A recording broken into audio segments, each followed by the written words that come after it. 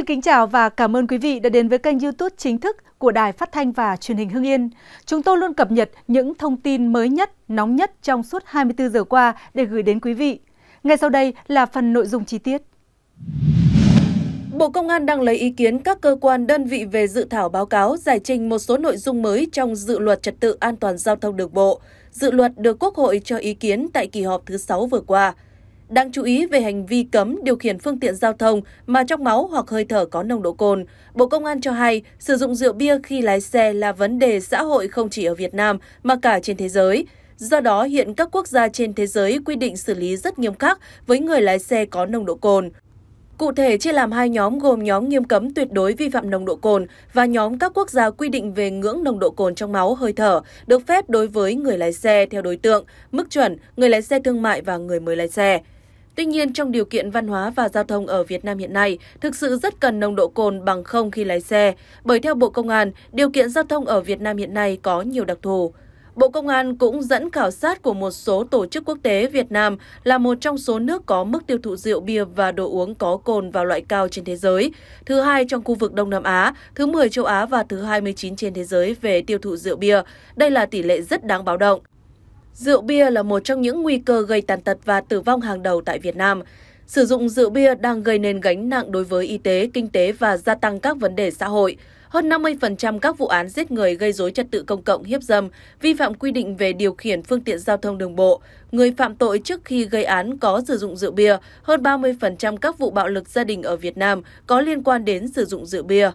Do đó, Bộ Công an cho rằng việc kiểm soát chặt chẽ nồng độ cồn có ý nghĩa xã hội sâu sắc – trong khi đó, văn hóa ẩm thực của Việt Nam có nhiều đặc thù, có tính cả nể. Nếu quy định nồng độ bằng không thì không uống, nhưng nếu có một hạn mức nào đó thì lái xe có thể gặp trường hợp bị ép uống. Bên cạnh đó, đồ uống có cồn gây nghiện đã bắt đầu uống là không dễ dừng, mà khi đã say thì sẽ khó nhớ luật quy định gì. Có trường hợp nhậu từ hôm trước mà hôm sau vẫn bị phạt vì uống quá nhiều hoặc do cơ địa. Nhiều người hôm trước nhậu say, hôm sau vẫn váng đầu nhức óc cả ngày, ảnh hưởng tới khả năng lái xe.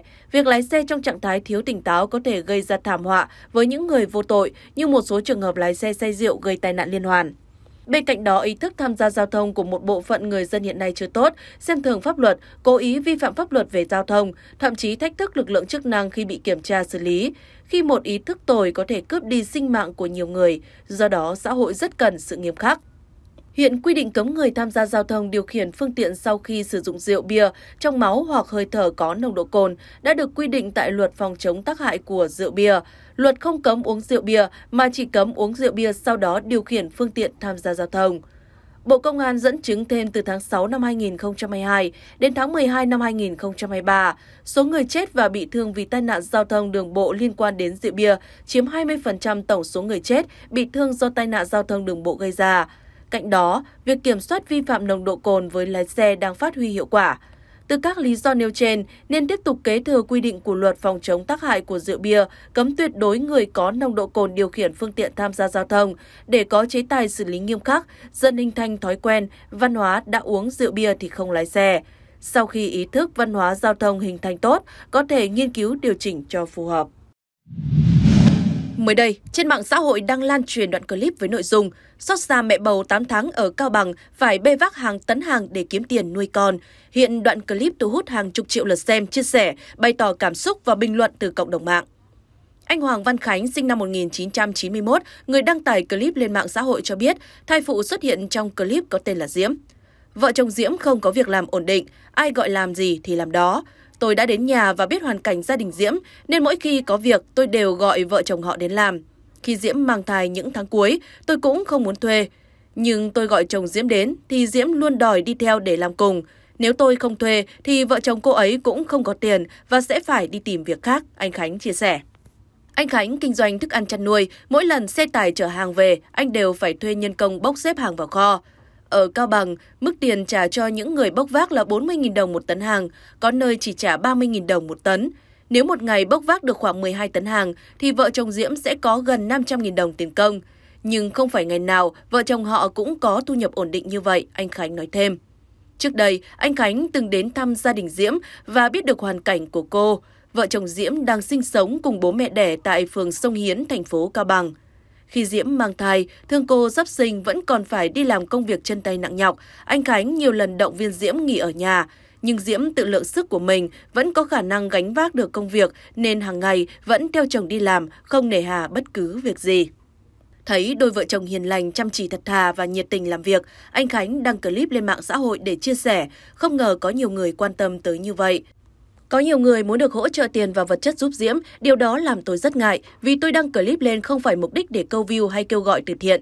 Thực sự ở Cao Bằng, còn nhiều người có hoàn cảnh khó khăn hơn Diễm, không có được một mái nhà nguyên vẹn để ở, phải dùng cành cây che chắn gió mưa. Sau khi đăng tải, đoạn video nhanh chóng thu hút sự quan tâm của cộng đồng mạng với hơn 5 triệu lượt xem, hàng trăm nghìn lượt tương tác và bình luận. Nhiều người bày tỏ thương cảm với hoàn cảnh của mẹ bầu 8 tháng. Đúng là nhìn lên thì chẳng bằng ai, mà nhìn xuống thì cũng nhiều người khổ hơn mình. Nhìn vừa thương vừa xót chị quá, em bé sau này sinh ra chắc chắn phải thương mẹ nhiều nhé. Tài khoản An Thảo bình luận. Thương thật sự, bụng bầu to vậy, đi lại chút thôi ngồi thở cũng mệt nữa là mang vác nặng. Chúc chị nhiều sức khỏe, mẹ tròn con vuông, người dùng Thu Hà viết. Trong khi đó, nhiều ý kiến chỉ trích người chồng để mặc vợ bầu làm việc nặng nhọc. Hoàn cảnh mỗi người mỗi khác, cuộc sống cơm áo gạo tiền chưa bao giờ là dễ dàng. Chắc chị này có chồng cũng như không nên phải làm lũ cực nhọc đến vậy, tài khoản như Quỳnh viết.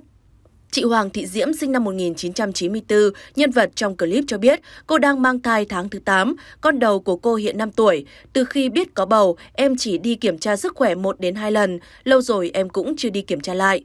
Thực tế, chồng cũng bảo em nghỉ ở nhà, nhưng em không đồng ý. Một mình chồng em làm sẽ rất vất vả, không thể lo hết được cho cả gia đình. Em có mệt, cũng cố đi làm để kiếm thêm đồng ra đồng vào, sau này còn chăm con. Chồng đi đâu thì em theo đấy, cứ đi làm bao giờ đẻ thì nghỉ. Bây giờ được mọi người quan tâm là em vui rồi. Nhiều người hỏi số tài khoản, nhưng chúng em làm ra tiền ngày nào tiêu ngày đó. Làm gì có số tài khoản để nhận ủng hộ của mọi người đâu, Diễm nói. Mới đây, theo thông tin từ Tòa án Nhân dân thành phố Hà Nội, 12 bị cáo trong đại án Việt Á đã có đơn kháng cáo bản án sơ thẩm. Cụ thể, cựu Bộ trưởng Y tế Nguyễn Thanh Long, Tổng Giám đốc Việt Á Phan Quốc Việt đều có đơn kháng cáo xin giảm nhẹ hình phạt. Bị cáo Ngụy Thị Hậu, cựu Phó phòng Tài chính Kế toán CDC tỉnh Bắc Giang kháng cáo với nội dung đề nghị đánh giá lại thiệt hại do hành vi của bị cáo gây ra và xem xét cho bị cáo hưởng án treo. Bị cáo Vũ Đình Hiệp, Phó Tổng Giám đốc Công ty Việt Á có đơn kháng cáo với nội dung đề nghị xem xét đánh giá lại đúng bản chất của vụ án và tội danh đối với bị cáo. Ngoài ra, Công ty Việt Á cũng có đơn kháng cáo với nội dung đề nghị không tịch thu xung công quỹ nhà nước số tiền được xác định là hưởng lợi bất chính từ việc bán kit xét nghiệm cho các tổ chức cá nhân không bị xem xét khởi tố trong vụ án. Công ty Việt Á cũng yêu cầu các tổ chức mua test xét nghiệm của doanh nghiệp này mà không qua thủ tục đấu thầu phải thanh toán tiền cho Việt Á theo như hợp đồng đã ký kết. Phía Việt Á còn kháng cáo đề nghị tòa cấp phúc thẩm hủy bỏ các biện pháp phong tỏa, hạn chế giao dịch đối với các tài khoản ngân hàng của doanh nghiệp này và các công ty trong hệ thống của Việt Á không liên quan đến vụ án. Trước đó, đầu năm 2024, Tòa án Nhân dân thành phố Hà Nội đã đưa ra xét xử sơ thẩm và tuyên án đối với 38 bị cáo trong vụ án liên quan tới các vi phạm xảy ra tại công ty Việt Á, Bộ Y tế, Bộ Khoa học và Công nghệ và các đơn vị liên quan. Tòa sơ thẩm đã tuyên phạt bị cáo Phan Quốc Việt 29 năm tù về hai tội danh đưa hối lộ và vi phạm quy định về đấu thầu gây hậu quả nghiêm trọng. Cựu Bộ trưởng Bộ Y tế Nguyễn Thanh Long bị tuyên phạt 18 năm tù về tội nhận hối lộ, cựu Bộ trưởng Bộ Khoa học và Công nghệ Chu Ngọc Anh và cựu Thứ trưởng Phạm Công Tạc cùng bị tuyên phạt 3 năm tù về tội vi phạm quy định về quản lý sử dụng tài sản nhà nước gây thất thoát lãng phí. Bị cáo Trịnh Thanh Hùng bị tuyên phạt 14 năm tù về tội nhận hối lộ. Theo hồ sơ vụ án, đầu năm 2020 dịch COVID-19 bùng phát tại Vũ Hán, Trung Quốc và lây lan đến nhiều quốc gia trong đó có Việt Nam – Trước tình hình trên, chính phủ đã triển khai nhiều chủ trương biện pháp để ứng phó, trong đó có giao cho Bộ Khoa học và Công nghệ chủ trì phối hợp với các đơn vị liên quan chủ động tích cực triển khai việc nghiên cứu chế tạo sinh phẩm phục vụ công tác phòng chống dịch. Khi đó, Phan Quốc Việt đã đặt vấn đề thống nhất với Trịnh Thanh Hùng, thời điểm này là vụ phó vụ khoa học công nghệ, các ngành kinh tế kỹ thuật, Bộ Khoa học và Công nghệ về việc giúp công ty Việt Á được tham gia nghiên cứu với mục đích sử dụng kết quả đề tài để sản xuất, bán thương mại kit xét nghiệm. Việc đã thỏa thuận về việc chia phần trăm doanh thu của công ty Việt Á từ việc tiêu thụ kit xét nghiệm, trao đổi bàn bạc để giúp công ty Việt Á sử dụng biên bản nghiệm thu, đề tài để lập hồ sơ gửi Bộ Y tế cấp số đăng ký lưu hành sản xuất, bán ra thị trường, giúp công ty Việt Á hưởng lợi bất chính số tiền đặc biệt lớn. Chủ tịch Việt Á cũng đã đưa hối lộ cho nhiều cá nhân tại Bộ Y tế, Bộ Khoa học và Công nghệ đã hỗ trợ giúp đỡ trong quá trình nghiên cứu, cấp phép lưu hành kit xét nghiệm với số tiền hàng trăm tỷ đồng. Thêm vào đó, để tiêu thụ kit xét nghiệm tại các địa phương với số lượng lớn và được thanh toán theo giá đã nâng khống.